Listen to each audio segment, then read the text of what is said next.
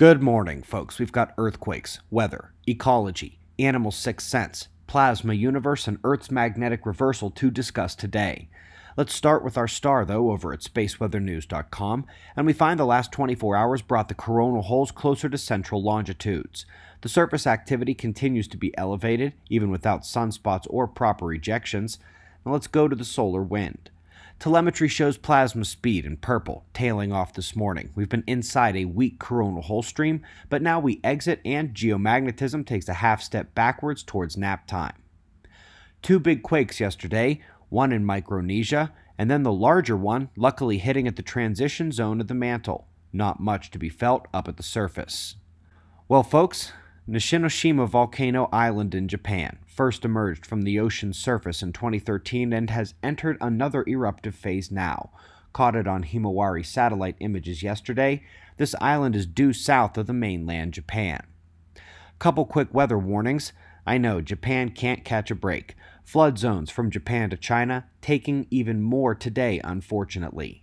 And a similar story is set to unfold near the US Canada border in the Rockies and upper Midwest. Major flood potential for that one, to be sure.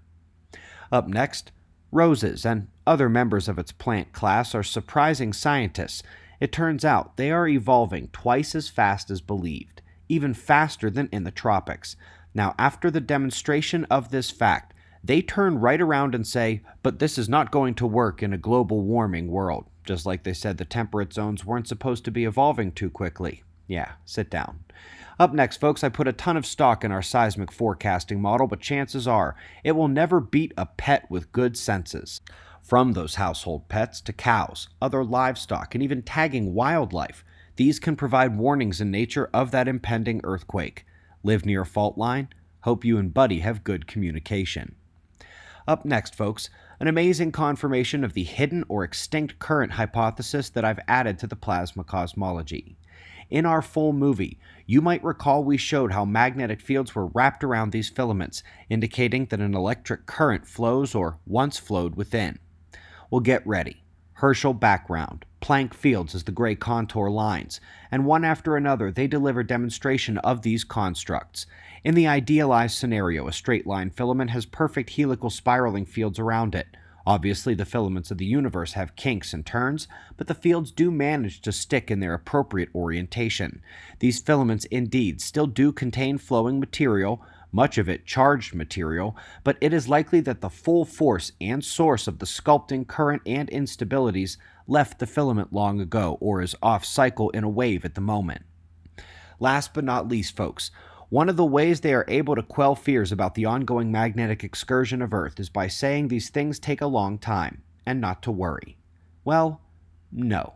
It turns out that if you take what was the fastest any scientist said it could happen, which indeed many other scientists didn't quite believe, we now know the fastest guess was 10 times too slow. At 10 degrees of shift per year, this means the core reversal period would last less than a decade, and perhaps even faster. Earth's field has already entered the phase of change where motion and field weakening exceed what has been seen in thousands of years, and it's going to get much more serious before it's all over. Folks, we greatly appreciate your support. Dr. Dunning's video last night is well worth a watch, and I will caution your itch to jump to the comment section without doing your homework. I saw a ton of people make fools of the mirror by not knowing that there is a safe way to fast and an unsafe way tonight.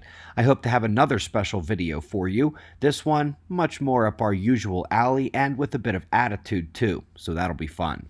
We've got your wind map forecast and shots of our star to close, and of course, we'll do this all again tomorrow, right here, but right now it's 5 a.m. in the new Valley of the Sun. Eyes open, no fear. Be safe, everyone.